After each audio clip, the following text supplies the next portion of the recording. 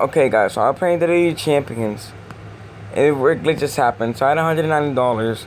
I just got one more from the quest thingy. Where where where is it? Uh, this thing I got one dollar. So now sending um. I I went to loot. I went to victory loop I kept pressing. I pressed once. It didn't. It did nothing. So I kept tapping it. All of a sudden, I'm like, okay, I think the game is like kind of messed up. So I do this and I get rid of it. All of a sudden, it takes my dollar down to one hundred dollars, and I get and I get nothing, nothing at all. Wow. How stupid is that?